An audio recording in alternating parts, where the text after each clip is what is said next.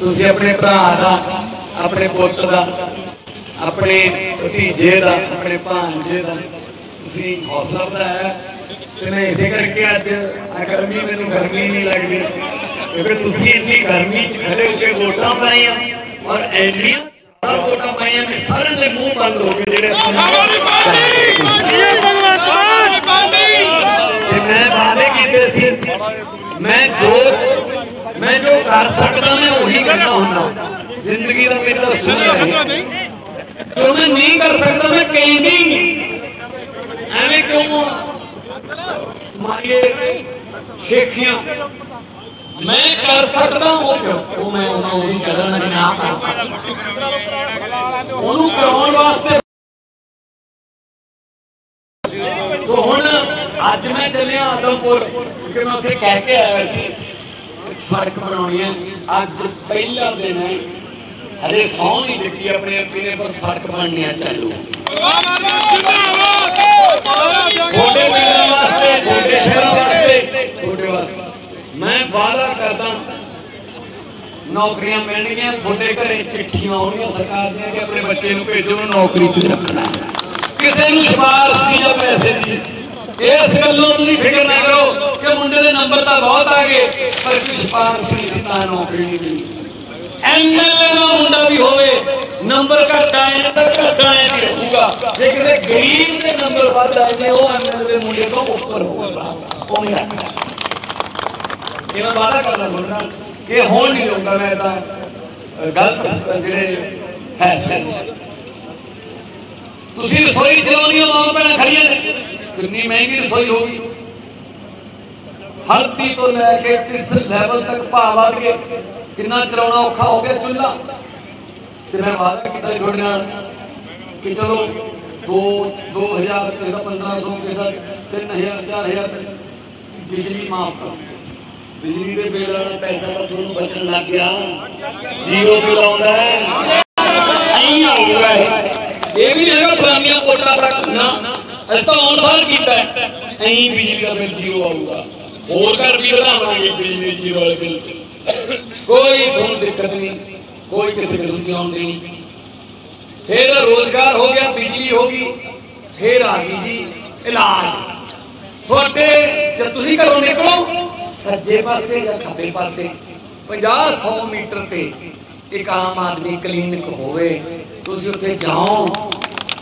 ਕੋਈ ਬਿਮਾਰੀ 48 ਕਿਸਮ ਦੇ ਤਾਂ ਟੈਸਟ ਨੇ। ਜੋ ਤੁਹਾਨੂੰ ਰੱਬ ਨਾ ਕਰੇ ਕੋਈ ਬਿਮਾਰੀ, ਇਸ ਲਮਾਂ ਦੀ ਹੋ ਗਈ ਹੈ। ਇੱਕਦਮ ਫ੍ਰੀ ਇਲਾਜ। ਕਿਤੇ ਨਹੀਂ ਜਾਣਾ ਪੈਣਾ। ਤੁਹਾਡੇ ਟੈਸਟ ਦੀ ਰਿਪੋਰਟ ਦੀ ਤੁਹਾਡੇ ਘਰੇ ਆ ਜਾਊਗੀ ਵੀ ਆ ਇੱਥੋਂ ਦਵਾਈ ਲੈਣੀ ਆ, ਉਹ ਵੀ ਫ੍ਰੀ ਹੋਊਗੀ। ਇਹ ਸਰਕਾਰਾਂ ਦਾ ਫਰਜ਼ ਹੈ, ਅਸੀਂ ਉਹਨਾਂ ਵਾਅਦਾ ਕੀਤਾ ਹੋਊਗਾ ਫੇਰ ਆ ਜੀ ਆਪਾਂ ਪੜ੍ਹਾਈ ਤੇ। ਆ ਜਿਹੜੇ ਬੱਚੇ ਚੱਕੀ ਬੈਠੇ ਇਹਨਾਂ ਨੂੰ ਪੜ੍ਹਾਈ ਜੇ ਇਹ ਪੜ੍ਹ ਕੇ ਨਾ, ਇਹ ਗਰੀਬੀਆਂ ਚੱਕ ਦੇਣਗੇ ਆਪਣੀਆਂ। ਜਦੋਂ ਗਰੀਬ ਦਾ ਬੱਚਾ ਪੜ੍ਹ ਕੇ ਡੀਸੀ ਲੱਗ ਜੇ, ਜਦੋਂ ਗਰੀਬ ਦਾ ਬੱਚਾ ਪੜ੍ਹ ਕੇ ਜੱਜ ਬਣ ਜੇ, ਜਦੋਂ ਗਰੀਬ ਦਾ ਬੱਚਾ ਪੜ੍ਹ ਕੇ ਵਕੀਲ ਬਣ ਜੇ, ਉਹ ਘਰ ਦੀ ਗਰੀਬੀ ਚੱਕ ਲਊਗਾ। ਘਰ ਦੀ ਗਰੀਬੀ। ਆ ਬੱਚੇ ਬੈਠੇ ਨੇ। ਤੁਸੀਂ ਵੋਟ ਜਿਹੜੀ ਹੈ ਤੁਸੀਂ ਵੋਟ ਮੈਨੂੰ ਨਹੀਂ ਪਾਈ। ਤੁਸੀਂ ਵੋਟ ਰਿੰਕੂ ਨੂੰ ਨਹੀਂ ਪਾਈ। ਤੁਸੀਂ ਵੋਟ ਅਰਵਿੰਦ ਕੇਜਰੀਵਾਲ ਜੀ ਨੂੰ ਨਹੀਂ ਪਾਈ। ਤੁਸੀਂ ਵੋਟ ਇਹਨਾਂ ਨੂੰ ਪਾਈ ਹੈ। ਇਹਨਾਂ ਦੇ ਫਿਊਚਰ ਦੀ ਨਾ ਕੋਈ ਖਾਸ ਕਿਉਂਕਿ ਅਰਵਿੰਦ ਕੇਜਰੀਵਾਲ ਜੀ ਇਹਨਾਂ ਬਾਰੇ ਸੋਚਦੇ ਨੇ। ਦਿੱਲੀ ਦੇ ਸਕੂਲ ਹੈ ਕਮਾਲ ਬਣਾਤੇ ਗਰੀਬਾਂ ਦੇ ਬੱਚੇ ਪੜ੍ਹ ਕੇ ਰਿਕਸ਼ੇ ਵਾਲਾ ਚਲਾਉਣ ਵਾਲਾ ਬੱਚਾ ਡਾਕਟਰ ਬਣ ਰਿਹਾ 3 ਲੱਖ ਰੁਪਇਆ ਮਹੀਨੇ ਦੀ ਤਨਖਾਹ ਹੋਗੀ ਉਹਦਾ ਬਾਪੂ ਕਹਿੰਦਾ, ਮੈਂ 3 ਲੱਖ ਦੇ ਕੌਡੀਆਂ ਨਹੀਂ ਗਿਣੀਆਂ ਸੀ, ਕਦੇ ਠੀਕਰੀਆਂ ਨਹੀਂ ਗਿਣੀਆਂ ਸੀ।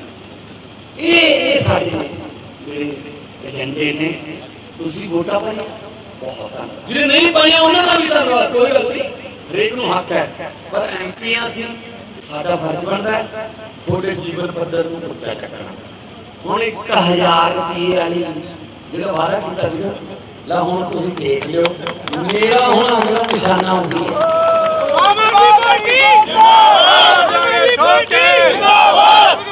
ਹੁਣ ਤੁਸੀਂ ਇਹ ਦੇਖ ਲਿਓ, ਵਿਰੋਧੀ ਪਾਰਟੀਆਂ ਵਾਲੇ ਜਿਹੜੇ ਕਹਿੰਦੇ ਸੀ ਐ ਬਿਜਲੀ ਕਿਵੇਂ ਫ੍ਰੀ ਹੋ ਜੂਗੀ, ਕਰਤੀ। ਕਹਿੰਦੇ ਆਇਆ ਨਹੀਂ 2 ਮਹੀਨੇ ਕਰਨਗੇ 6 ਮਹੀਨੇ ਹੋ ਗਏ ਬਿਜਲੀ ਫ੍ਰੀ ਸਾਲ ਹੋਣ ਵਾਲੀ ਹੈ। ਬਿਜਲੀ ਬੋਰਡ ਕਰਦੇ ਹੋ ਜੂ ਨਹੀਂ ਕੀਤਾ, ਬਿਜਲੀ ਬੋਰਡ ਦਾ ਪੈਸਾ ਦਿੱਤਾ। ਐ ਕਿਵੇਂ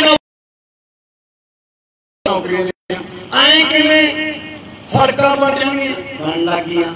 ਅੱਜ ਚੱਲਿਆ ਸੜਕਾਂ ਉਦਘਾਟਨ ਕਰਨ। ਬਣ ਲੱਗੀਆਂ। ਐਵੇਂ ਜਿਵੇਂ ਇਹ ਕਹਿਣਗੇ। ਆਏ ਕਿਵੇਂ ਹੁਣ ਕਹਿੰਦੇ ਨਾ, ਆਏ ਕਿਵੇਂ 1000 ਰੁਪਏ ਦੇ ਦੋਗੇ। ਸਾਡੇ ਕੋਲ ਸਾਰੀਆਂ ਜੁਗਤਾਂ ਬਣਾਈਆਂ ਪਈਆਂ ਨੇ। ਤਵੀਤ ਬਣੇ ਪਏ ਨੇ ਬਸ ਡੌਲੇ ਫੜਾ ਦੋ ਬੰਨਣੇ ਹੀ ਨੇ ਬਸ ਆਹ ਸਾਹਿਬ 1000 ਰੁਪਇਆ ਦੇ ਕੇ ਭਾਂਦੋ ਨੂੰ ਇਹ ਵੀ ਜਰਾ ਕਰੋ ਇਹ ਦੇਖਦੇ ਜਾਓ ਸੀ ਹੁੰਦਾ ਕੀ ਹੈ ਅਸੀਂ ਸਾਡੇ ਧੀਆਂ ਪੁੱਤਾਂ ਨੂੰ ਕਮਾਊ ਪੁੱਤ ਬਣਾਵਾਂਗੇ। ਘਰਾਂ ਦੇ ਵਿੱਚ ਬਜ਼ੁਰਗਾਂ ਦਾ ਇਲਾਜ ਫ੍ਰੀ ਜਿਹੜੀ ਬੁਢਾਪਾ ਪੈਨਸ਼ਨ ਵਿਧਵਾ ਪੈਨਸ਼ਨ ਜਾਂ ਕੋਈ ਰਾਸ਼ਨ ਕਾਰਡ ਜੇ ਉਹ ਕਿਤੇ ਨਹੀਂ ਸਰਕਾਰ ਤੁਹਾਡੇ ਘਰ ਦਾ ਕੁੰਡਾ ਖੜਕਾ ਕੇ ਤੁਹਾਨੂੰ ਉਹ ਸਹੂਲਤਾਂ ਦੇਊਗੀ। ਦੇਖੋ, ਅਸੀਂ ਜਦੋਂ ਵੋਟਾਂ ਮੰਗਣ ਆਉਂਦੇ ਆ ਆ ਹੁਣ 20 ਦਿਨ ਪਹਿਲਾਂ ਮੈਂ ਵੋਟਾਂ ਮੰਗਣ ਆਇਆ ਸੀ। ਉਹ ਤਾਂ ਤੁਹਾਡੇ ਘਰਾਂ ਚ ਆਉਂਦੇ ਆ ਅਸੀਂ ਜਦੋਂ ਵੋਟਾਂ ਮੰਗਣ ਆਉਂਦੇ ਆ ਉਹ ਤਾਂ ਤੁਹਾਡੇ ਘਰਾਂ ਚ ਆਉਂਦੇ ਆ ਤੁਹਾਡੇ ਸ਼ਹਿਰਾਂ ਚ ਆਉਂਦੇ ਆ ਡੋਰ ਟੂ ਡੋਰ ਆਉਂਦੇ ਆ ਤੇ ਜਦੋਂ ਜਿੱਤ ਜਾਂਦੇ ਆ ਉਦੋਂ ਕਹਿੰਦੇ ਚੰਡੀਗੜ੍ਹ ਆ ਕਿਉਂ? ਚੰਡੀਗੜ੍ਹ ਕਿਉਂ ਅਸੀਂ ਇਹ ਕੀਤਾ ਤੁਸੀਂ ਚੰਡੀਗੜ੍ਹ ਨਹੀਂ ਜਾਓਗੇ। ਚੰਡੀਗੜ੍ਹ ਪੰਜਾਬ ਦੇ ਲੋਕਾਂ ਕੋਲ। ਆਊਗਾ ਸਾਰਾ ਇਕੱਠੇ ਹੁਣ ਇਸ ਵਕਤ ਉੱਥੇ ਮੇਰੇ ਮੰਤਰੀ ਸਾਰੇ ਅਫਸਰ ਲੈ ਕੇ ਲੋਕਾਂ ਦੀਆਂ ਸਮੱਸਿਆਵਾਂ ਸੁਣ ਰਹੇ ਨੇ। ਐਦਾਂ ਹੀ ਕਰਿਆ ਕਰਾਂਗੇ। ਸਰ ਬਹੁਤ ਸਾਰੇ ਬਜ਼ੁਰਗ, ਬਹੁਤ ਸਾਰੇ ਲੋਕ ਇਹੋ ਜਿਹੇ ਨੇ ਪਿੰਡਾਂ 'ਚ, ਜਿਨ੍ਹਾਂ ਨੂੰ ਸ਼ਹਿਰ ਜਾਣ ਵਾਸਤੇ ਵੀ ਬਹੁਤ ਜਦੋਂ ਕੋਈ ਵਾਹਨ ਨਹੀਂ ਮਿਲਦਾ।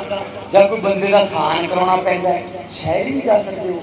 ਜੇ ਉਹਦੇ ਉਸ ਬਜ਼ੁਰਗ ਦੇ ਆਲੇ ਦੁਆਲੇ ਕਿਤੇ ਪਿੱਪਲ ਥੱਲੇ ਕੋਈ ਏਡੀਸੀ ਆ ਕੇ ਬਹਿ ਜੇ ਐਸਡੀਐਮ ਆ ਕੇ ਬਹਿ ਜੇ ਤੇ ਕੰਮ ਕਰਦੇ, ਉਹ ਕਹੋ ਤੁਰ ਕੇ ਜਾ ਕੇ ਕੰਮ ਕਰਾ ਲੇ ਕਿਉਂਕਿ ਇਹਦਾ ਸਾਨ ਕਰਾ ਦਿੰਦੇ ਉਹ? ਫਿਰ ਵੋਟ ਤਾਂ ਉਹਦੀ ਵੀ ਉਨੀ ਕੀਮਤੀ ਹੈ, ਜਿੰਨੀ ਉਹਨਾਂ ਦੀ ਕੀਮਤੀ ਹੈ। ਸੋ ਇਸ ਕਰਕੇ ਅਸੀਂ ਇਹ ਏਜੰਡੇ ਤੇ ਲੱਗੇ ਹੋਏ ਹਾਂ। ਮੇਰੇ ਤੇ ਯਕੀਨ ਰੱਖਿਓ, ਮੈਂ ਤੁਹਾਡਾ ਪੁੱਤ ਹਾਂ, ਤੁਸੀਂ ਮੈਨੂੰ ਪੰਜਾਬ ਦੇ ਪੁੱਤ ਦਾ ਖਿਤਾਬ ਦੇਤਾ। ਮੇਰੀ ਜ਼ਿੰਮੇਵਾਰੀ ਵੱਧ ਗਈ। ਪੈਸੇ ਪੂਸੇ ਕਮਾਉਣ ਵਾਲਾ ਕੰਮ ਤਾਂ ਮੈਂ ਨਵੇੜੀ ਬੈਠਾ ਸੀ। ਮੈਂ ਤਾਂ ਬਹੁਤ ਮਸ਼ਹੂਰ ਕਲਾਕਾਰ ਸੀ। ਮੈਂ ਚਾਹੁੰਦਾ ਤਾਂ ਮੈਂ ਵੀ ਉੱਧਰ ਹੀ ਚਲਾ ਜਾਂਦਾ। ਫਿਰ ਮੇਰੀ ਦਿਲ ਚੋਂ ਆਤਮਾ ਚ ਆਵਾਜ਼ ਆਈ, ਭਗਵੰਤ ਮਾਨਾ, ਹਾਸੇ ਵੀ ਉਹਦੀ ਚੰਗੇ ਲੱਗਦੇ ਨੇ ਜਦੋਂ ਲੋਕਾਂ ਦੇ ਘਰਾਂ 'ਚ ਚੁੱਲ੍ਹਿਆਂ 'ਚ ਅੱਗ ਬਲਦੀ ਹੋਵੇ। ਤੋ ਤੁਹਾਡੀ ਚੁੱਲ੍ਹਿਆਂ ਦੀ ਅੱਗ ਮੈਂ ਠੰਡੀ ਨਹੀਂ ਪੈਣ ਦਿੰਦਾ। ਇਸ ਗੱਲ ਦੀ ਗਰੰਟੀ ਹੈ।